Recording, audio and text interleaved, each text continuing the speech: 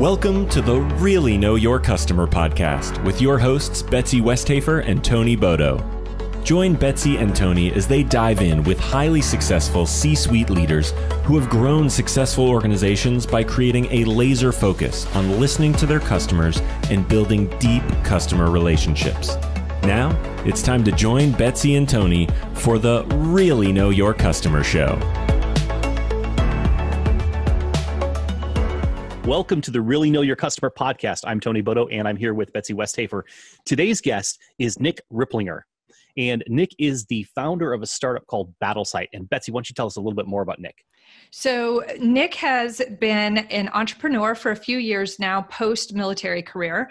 Uh, seven years in the military, had a phenomenal career. Um, was medically retired. Um, not sure what year that was, but in full disclosure, I will tell you that Nick is my oldest child and I'm super excited to have him here on the show today. We're going to have a great conversation about all things entrepreneur, about technology commercialization, about just the changing market and you know when times call for a pivot and all kinds of things. So really excited to have my son Nick Ripplinger here today.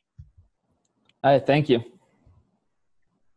So, Nick, why don't you kind of give us some background as a starting point, um, some background into your military career, your transition, um, and then how you ultimately ended up where you are today. So, I spent seven years in the Army, mostly active duty, a little bit of time in the reserves, did a couple of combat deployments, and rounded out my career working for NATO as the operations NCO, IC, non commissioned officer in charge uh, for the European Command and NATO Protective Services Detachment. And then from there, uh, worked at Wright Patterson Air Force Base in the defense contracting space, went out to industry, and then we formed Battle Sight in 2017. So tell us more about Battle Sight. Yeah, Battle Sight's a rapid commercial technology commercialization company focused on the warfighter, the first responder, and emergency management professional. Uh, our flagship product is a Craytac IR, which is an infrared crayon. It writes basically in the invisible spectrum, but it looks like a chem light or a light stick through night vision goggles. And from there, we've branched out to about six other product lines. So, so tell us a little bit more, just a little more specificity on what that means, technology commercialization company.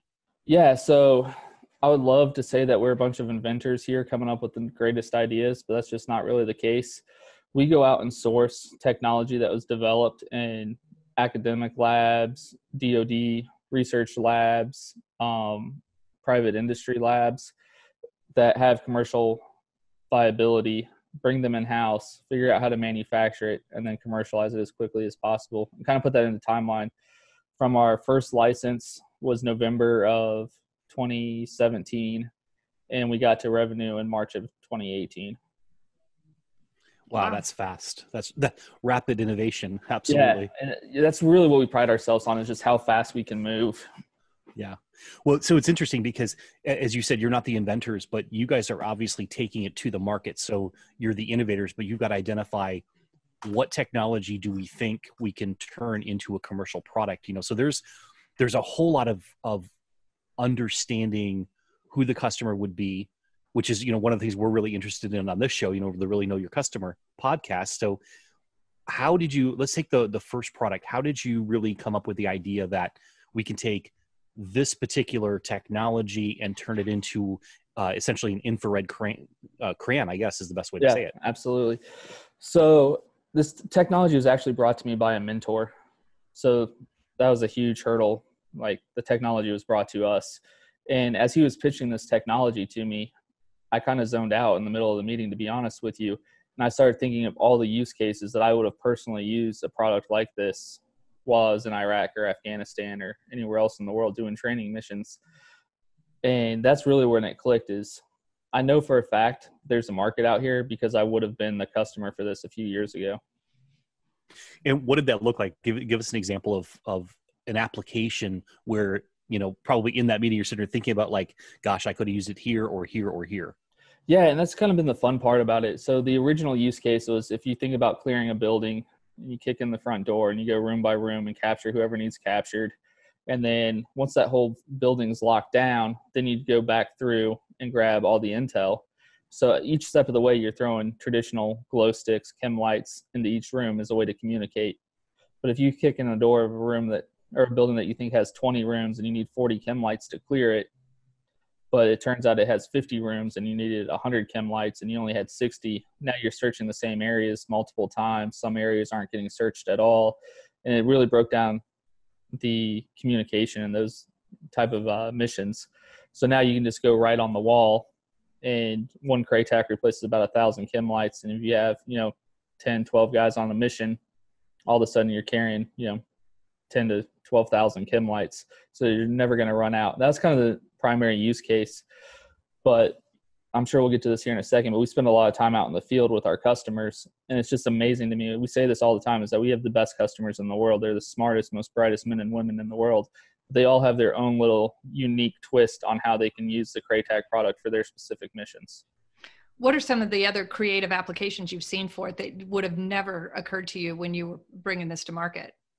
Yeah, so the guys in the military that I don't think get nearly enough respect are the EOD, the bomb disposal guys.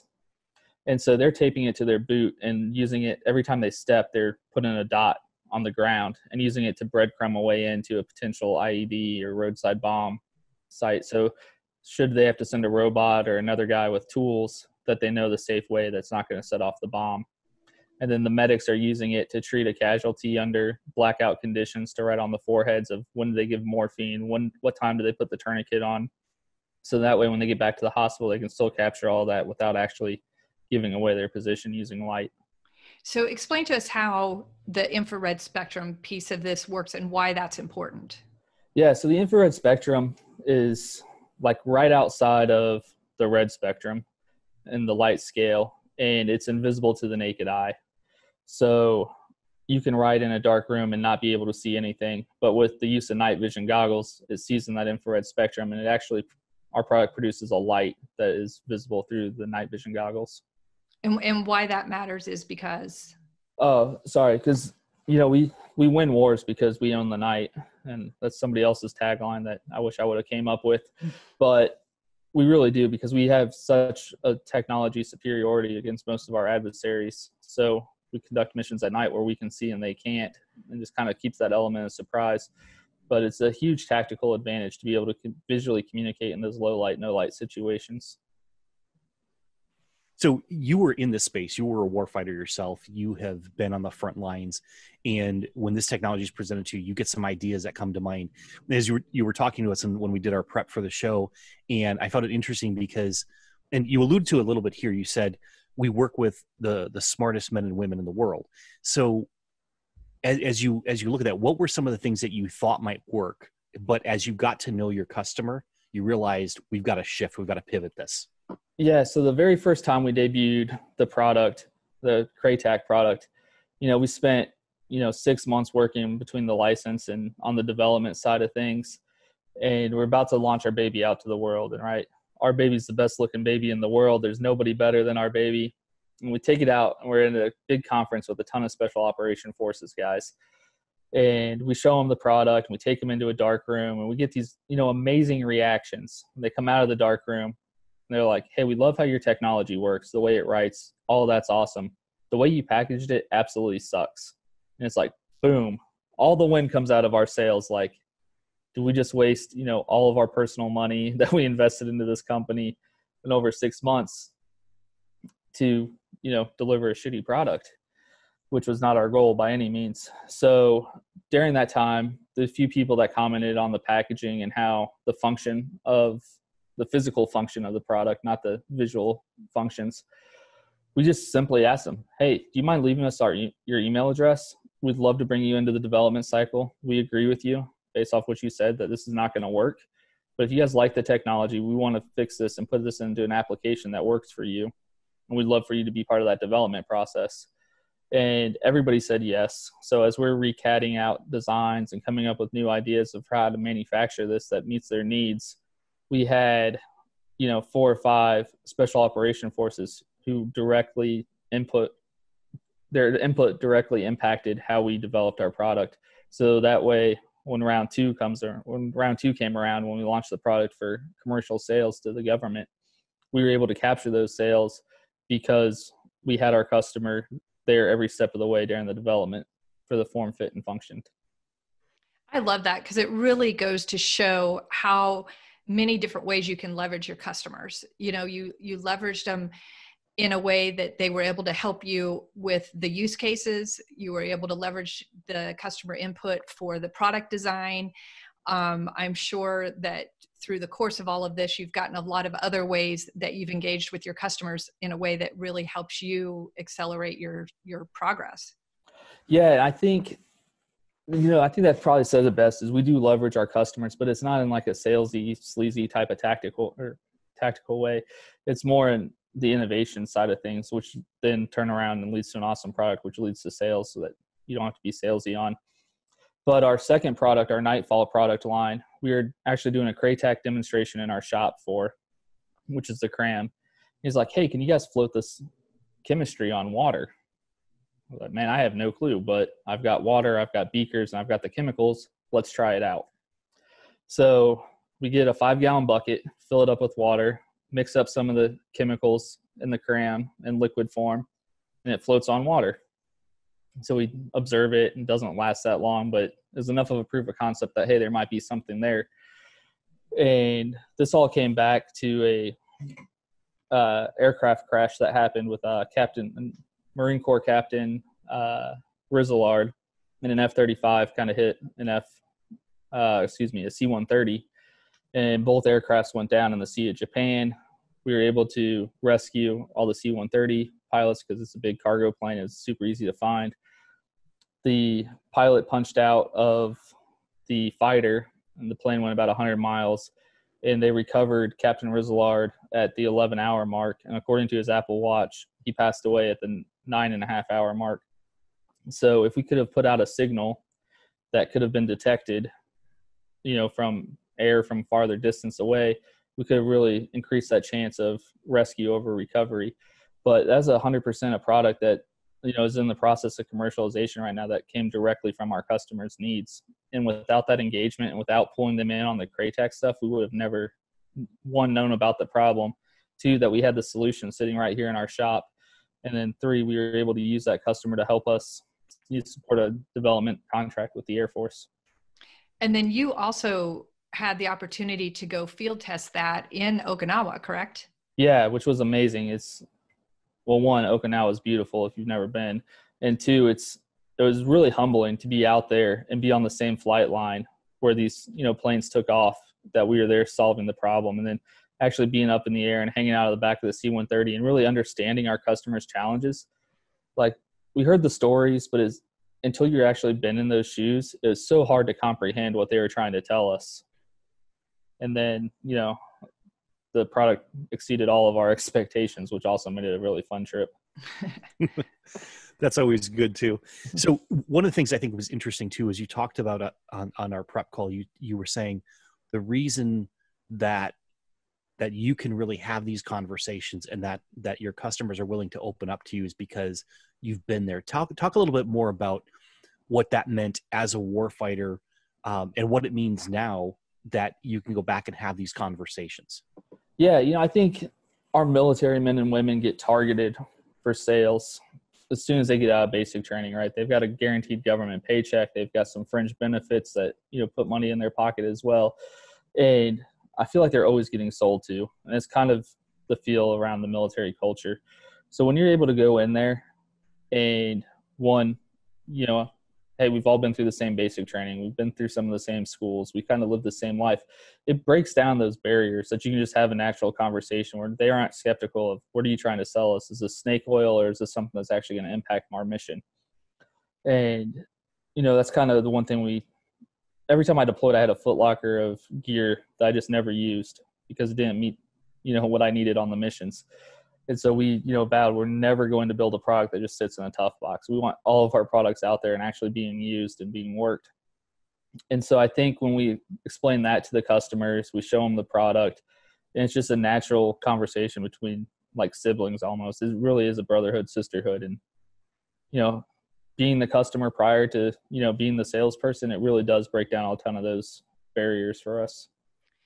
So, Nick, I happen to know that in your physical location, you have a lot of um, salutes to the people you serve. You've got different military branch flags. You've got um, a, a, piece of a, a, fighter plane on your wall. You have a lot of things that show your commitment to your customers. But talk a little bit about your culture and how you implement your sentiment toward your brotherhood to the other people in your company. Yeah, you know, I think culture. There's, I mean, there's millions of books probably written on this subject, but culture really does start at the top and it's like my biggest fear as a ceo entrepreneur whatever you want to call it is that we're going to wreck this amazing culture that we built so it's something that we spend every morning talking about and spend a ton of time and energy making sure we keep it but like you did say we do have the flags of our customers up and we do have the american flag off a fighter jet hanging on our wall and when we were early on and we were just starting to hire you know this how do we make sure we keep this culture going and so we decided that we're going to go with every step of the way we can with hiring veterans or hiring military family members or somehow affiliated to the military. So they have that own personal ownership in the mission. And so right now we're 100% veteran owned. We are 100% military affiliated employer. We have, you know, an army mom, we have some veterans. It's we've got a military brat on the team, and that whole team is bought into that mission because they've all been personally impacted by our end customers. So you've got this this credibility that you know from all different perspectives that you can apply to the situation. Um, but there's there's something else that I sense just in the conversation we're having here. You've got this this deep sense of humility and and a, a vulnerability. I mean, we just I can hear it in the stories that you're that you're sharing, and you've talked a, a little bit about um, how things have changed. You know, from when you left the military and and starting battle sight, there was a gap there of several years, and what the warfighter needed really changed. What the missions were really changed. So, how did how did you approach that? Like, okay, we've got the credibility, but we've got to learn. We've got to figure out where they're at today. Yeah, and I think a lot of that was done during that development of Craytac is kind of what laid that foundation for us. Is you know we thought we designed the greatest thing ever, and then it sucked. So, you know, just when we learned that when we could ask our customers for feedback and to be part of the development process, we're like, wow, this is like kind of a no brainer, but I just never hear anybody talking about it. So now every time that we take on a development project or we're looking at a new piece of technology, we go out and source those end users our you know potential customers to be part of us during that development cycle. So we've partnered with the Air Force, we've partnered with uh, several Army units, and really just trying to source out their problems and then try to go pair that with technology and then bring in those champions or stakeholders on the customer side to really help, you know, do that uh, development progress. And I think having that customer in there is a lot what allows us to move as quickly as possible or as quickly as we do. I love that phrase, sourcing out the customer's problems. I've never heard that phrase before, but that's really uh, a lot of lo- the lines of the work that we do with customer advisory boards is just sourcing out those problems, trying to get to the root of what their problems are. So I love the way you phrase that. I'm totally um, trademarking this after this call. Well, you should. You should. um, so we're in the throes of the coronavirus crisis and you've done some pivoting as many companies have so tell us a little bit about one what you've done but two what was your thought process to actually get you to the move you made yeah so if it's cool with you i'll attack this from the thought process uh, parts first so coronavirus hits we lose you know half of our staff that's still on the payroll but they were just uncomfortable being out in public for their own personal needs and we are obviously fully supportive of that. Not trying to put anybody at risk for battle sight. And our COO, Chris, and myself, we were sitting around our desk, maybe having an adult beverage or two, trying to figure out what we're going to do in this future or this, you know, pandemic stage that we're living in right now. And we're walking around our shop. We're looking at, you know, what skill sets do we still have that are able to work? what assets do we have on our shop floor that we can put to work and what industry connections do we have to actually pull something together and so with our Craytac product it's a hot pour of wax um, that has a lot of automated like pumps and everything else to fill these behind it. So we got started thinking about hand sanitizer. Like, all right, who do we know in the hand sanitizer business? So we call up our chemical supplier who's right up the road. Said, hey, do you guys have you guys make hand sanitizer? Could you guys get it for us? And so at that time, they were also in the process of switching over their production to hand sanitizer. So the stars kind of aligned that we were able to get a source that wasn't publicly known for hand sanitizer and that we had the equipment and the labor to be able to fill them. But we wanted to kind of take it a step further, right? It's crazy times for everybody. So we sourced some bottles and we decided, hey, we're going to be able to sell a third of these and cover our costs and keep our employees engaged, which was our number one priority. And these other two thirds that we have, let's just bottle it and donate it to first responders and the military and anybody who needs it who's also potential customers. So it is kind of self-serving that we're flowing that out to our customers, but they really are the ones on the front lines, whether it's a war, whether it's riots, or whether it's a pandemic. Very good. And so how did that how did that transition from Craytac manufacturing to hand sanitizer bottle filling process? How did that go for for you? Uh, you know, it went it was crazy because the first supply of hand sanitizer we got got sold out from underneath of us with a duffel bag of cash at the loading dock because that's the crazy times that we live in right now. Um, turns out our equipment did not actually work with the hand sanitizer the way we thought it did. So we went to Uline or Grainger or some you know supply store and we got manual pumps and we manually pumped about I think it was 1200 gallons that we've moved so far with manual vacuum pumps. But we were able to move all the material we got, and we were able to, you know, flood the Dayton market with uh, well over a thousand bottles of free hand sanitizer to the first responders. That's what I love. I've seen a lot of, and we've talked about this on the show before. We've just seen so many companies being scrappy like that. You know, this is the time to be scrappy. Um, so I think that's really awesome. I'm not really sure if scrappy is the word I'd use for that, to be honest with you, not to make anything anybody else sound bad. But I think it's like entrepreneurs or CEOs or business leaders, right? We just solve problems. Yeah, There's that's a, a good massive point. problem going out there. What resources, assets do we have that we can go out and solve a problem and add value to our community? Well said. Well said. Um, so one thing I wanted to talk to you about is you won an innovation award a couple of years ago, and in in the process of winning that award, you talked a lot about the community effort that it took to get you where you were. So can you talk to our audience a little bit about how it takes a, a village really to build a company and and all of your strategic partnerships? Yeah, I'd love to say this was all me, but that's just not really the case. I've actually only played a very small fraction in the whole, you know, scale up of battle sight.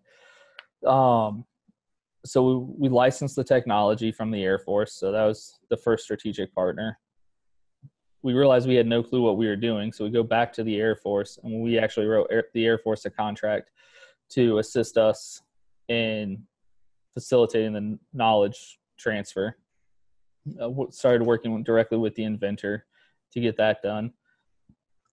We then realized that we still weren't really good at making this, so we went to go find a supplier who could produce our microcapsules for us.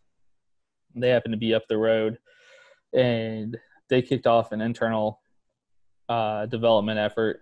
We put some funding behind uh, part of their internal development, which is really the game changer for the success of Battle Sight. Then we worked with a local contract manufacturer and ran a development effort with those guys, learned what we needed to learn, and then brought the manufacturing back in house. And then on the sales side, it's everything's almost been word of mouth from our engagement with our customers and sending out samples that they tell their buddies and then we send them samples and it's just kind of grown organically on the sales side that way so it sounds like the the whole process here which this is something that we don't get into a lot i i think it, you don't see enough in business books and um, in podcasts. It's it's all the the people that get involved the partnerships the failure again and again and again. And but with each step of that is learning something new and that's the critical part. Pull out okay what can i do? What can i learn? And and going back to the story you were telling about the switch over to the hand sanitizer it was interesting the way you worded that. You said what can we do with the skills we have with the equipment we have? And that strikes me as such a valid question for anyone to be looking at these days. You know it's it's not just the physical tangible stuff you've got. What are the intangibles that you have? What are your processes in place? What are your your your knowledge your partnerships your relationship i mean you tapped into all of those things. And i think for people just to you know even though we focus on the customer a lot sometimes it's about how do you step back and really look at yourself? How could we reinvent ourselves for an entire uh, an entirely new purpose if you will and and follow that so in your perspective what's the mindset of the entrepreneur and what types of things do they need to be aware of that they leverage and what do they have to avoid so they don't fail? Yeah i think the biggest thing that we talk about the most at battle sight is we leverage our military background more than we do you know master's degrees or college degrees or anything like that. And it's really that refusing to fail.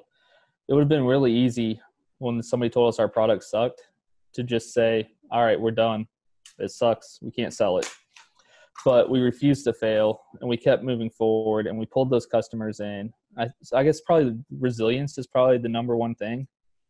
And then things to avoid for failure i think is just you know being humble and you know being fully transparent with yourself of what you're good at what you're not good at and then go surround yourself with people that can make up those shortcomings for you. That's awesome. So what what is your favorite part of being the leader of an organization that serves the military? Definitely the happy hours. No, you know i think it's the experiences we get to go out and do like flying in the back of a c-130 over the sea of japan overlooking you know the mountains of okinawa was amazing. And it's you know the time that we spend in the clubhouse doing the mission prep and the time that we're doing it the mission debriefs because all of those are insights that we're getting from our customers that we can potentially turn into a product. And really that product is just going to solve one of their problems which is the whole reason why we're in business. So one of the things i find really interesting about your story is that it's always about being there with the customer and actually you're discovering things while you're side by side with them. And as i look at most other companies they don't seem to really get out there and be with their customers side by side. I think the only story, and this comes out of the Dayton, Cincinnati area, is the the P&G story of the Swiffer and how they literally sat in homes and videotaped, you know, most often women, but they were cleaning their homes, and that's how they discovered, hey, why don't we put a wet wipe on the bottom of a stick and turn that into a product, right? It's it's from being there that they get these insights. So, talk a little bit more, if you can, about the the essence that you think really matters for companies like if they don't get out there with their customer how likely are they to succeed yeah i don't think if you're engaging your customers you have any chance of success there might be some oddballs here and there but i mean all of our great ideas that aren't really our great ideas have all came from sitting in those team rooms and having those conversations i think this kind of is what makes you know battle sight somewhat unique but i feel like every company can do it is breaking down those barriers with our customers, having them feel comfortable enough to tell us, hey, this is a real problem for us, and here's the real results. Is there anything you guys can do for it? And then, you know, sitting around brainstorming back in napkins type development co- concepts that then we can go back and execute on. And I think the execution is the other part is, you know, it's in that story with P&G, it's great that they identified we put a wet wipe on the bottom of a stick that's only half the problem. The other half of the problem is actually going out and executing and putting the wet wipe on the bottom of the stick and then going out and selling it. So, you know, there's a phrase that we use, you know, again, stolen from the military is violently execute today at battle sight. Every day we're going to make progress and we're going to move that ball forward. Sometimes it's, you know, a football field, sometimes it's only a yard, but every day showing up and violently executing and advancing the mission of the company. Oh, I love that. That's that's such a good phrase. Um, Nick, I know that you do a lot in your community. So tell us about some of the things on the show. We really like to give our guests a chance to do a shout out to different organizations that you're involved in, and we'll put the links to those organizations in the show notes. But tell us a little bit about your community give back. Yeah, you know, I think the so I live in Dayton, Ohio, well, just south of Dayton, Ohio, but our shop's in Dayton, Ohio, and the Dayton community has been absolutely phenomenal to Battle Sight, and you know, we all feel a sense of you know obligation not to screw up Battle Sight, so we can keep being an economic driver in the community. And two is how can we give back? And so we do a lot with veterans because that's a way for us to recruit, and it's just the right thing to do in my mind. Um, we also do a lot of work with the Red Cross. This hand sanitizer deal, giving it away to the first responders out there on the front lines. Um, through an organization through the Chamber of or the Dayton Chamber of Commerce is the Generation Dayton program, which is helping you know breed the next leaders of the community. I know I'm tied to Dayton for the rest of my life. Like this is my home. This is where I want to plant my flag. I want to make sure you know the next great entrepreneurs and business leaders in the community have resources and everything they need to be successful and kind of keep Dayton being the great community that it is. That's awesome. Well, Nick, thank you so much. This has been a phenomenal interview. And for us, really being able to understand how you go through rapid innovation and take that idea that you know someone else has had and bring that to market has been fascinating. And it really comes back to as you've been saying the whole time really listening to the customer and just being humble enough to hear what they have to say and to look at their problem and find that solution however that's going to come about. So thank you very much for being with us today. Uh no thank you guys. I appreciate it. It's been a blast Thanks, Nick. You know, I love this interview with Nick because, from my perspective, he has lived that mindset of the entrepreneur, although he didn't come about it in the traditional way. I mean, he started in the military and was there for seven years, but he got this whole idea of resilience and uh, there's no failure, there's always a way to move forward. And so that mindset is really what a good entrepreneur has anyway. And it was instilled in him by the military.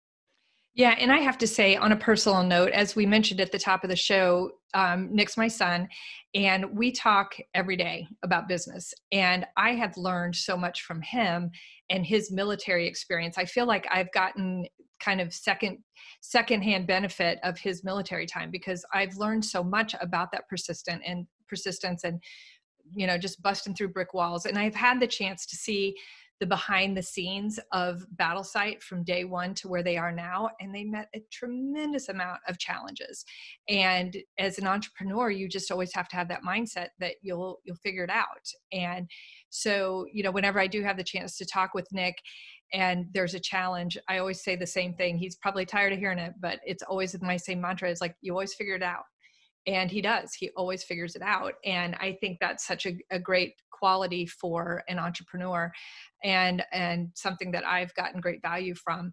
I also really liked how he talked about um, using the customers in a way that helps with product development. And I think that's such an important concept. It's something that we do in the customer advisory boards, but to think about it in terms of people out in the field on the battlefront, you know, just I think it's just a really interesting um, example of how no matter who your customers are, that you can get their input on your product development and the packaging and all of those kinds of things. Um, so I just thought it was a really um, interesting way to look at customer engagement. Yeah, and it's interesting because he obviously does a lot of B to G, you know, business to government sales, but his his true consumer is the the warfighter or the first responder, the person on the front lines. And so while he is listening to who he needs to listen to from the purchasing side and all of that, his focus is so clearly on the end consumer that that helps him avoid some of the other obstacles in the path and the contracting side of things and that because they need the product they want the product on the front lines and so it gets there.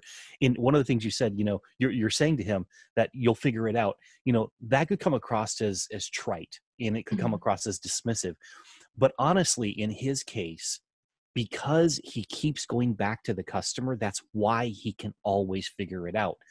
And i was really struck because a lot of the work that that i do in the customer experience from the ground up listening to customer feedback and helping companies really look at it from the perspective of what are the problems your customers having in life, not just with your product. In fact, let's set that aside for a moment. Let's look at what's going on in their lives. This is what Nick does all the time. And I think why they can, you know, pivot from, okay, we've got product A, how do we use that for product B and product C and product D? And so I think that's really a key to success here is understand the big picture of your customer and the more you're with your customer actually side by side with them you know looking out of the back of a c130 you know that that that's pretty telling as far as how he is really understanding what's going on in their life. And i think it's important for any company anyone listening to this take some notes about that. What is it you could do to be side by side with your customer? How can you get out there in the field with them? This goes beyond journey mapping you know customer journey mapping in the boardroom You've got to be out there with them in their lives, in their businesses, understand what's going on so that you can actually find problems and then source the solution. Yeah, I think the other thing too that that really kind of touches my heart about this is just that veteran entrepreneurial spirit. And um, we didn't mention at the top, but Nick wrote a book called um, "Frontline Leadership: Applying Military Strategies to Everyday Business." And in that book, he has experiences that he had in the military and the lessons he learned through those experiences and how those same lessons apply in business.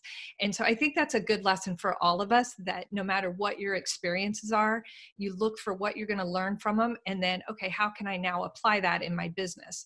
So um, I just think, I think it's um, just a really good lesson for all of us to, to be reminded of that. So that will wrap up today's episode. We hope you enjoyed it, got a lot of value out of listening to Nick's story about Battle Sight Technologies, and we look forward to seeing you on the next edition of Really Know Your Customer. Thanks for being here. Thanks for joining us for this episode of Really Know Your Customer. We hope you gained a lot of value from being here today. If you want to learn more about the work Betsy and Tony do to help their clients thrive, Visit Betsy at thecongruitygroup.com and Tony at tonybodoh.com. See you next time on the Really Know Your Customer Show.